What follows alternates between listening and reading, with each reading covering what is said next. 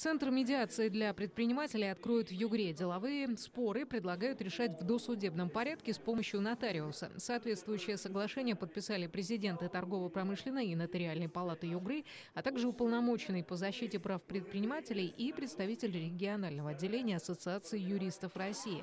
Предполагается, что разрешать конфликтные ситуации компаниям будут помогать профессиональные медиаторы. Для этого нотариусов округа направят на специальные образовательные курсы по медиации.